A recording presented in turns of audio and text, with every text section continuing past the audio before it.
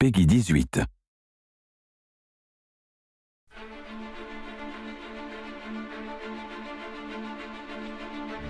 Nous sommes à l'aube du XVIIIe siècle.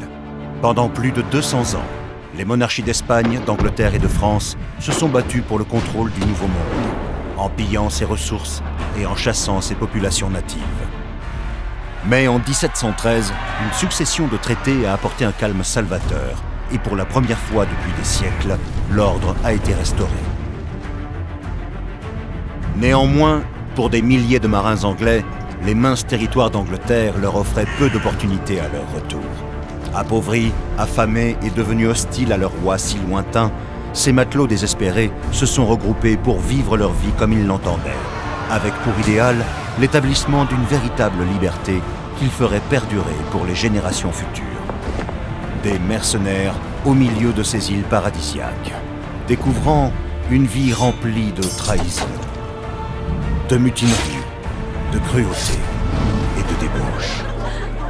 Il y a des trésors à découvrir partout, sur des plages au sable doré, dans des jungles encore vierges, dans des criques secrètes, dans les villes en pleine expansion et surtout sur des galions au cales remplis de marchandises.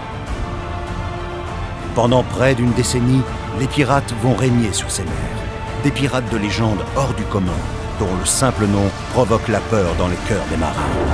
Benjamin Hornigold, Calico Jack, Charles Vane, Barbe Noire. Des capitaines charismatiques vivant avec leurs propres règles dans une société réservée à ceux qui croient en la liberté absolue. Voici enfin leur véritable histoire, entière, brutale, sans compromis. Découvrez le véritable âge d'or de la piraterie dans Assassin's Creed 4 Black Flag,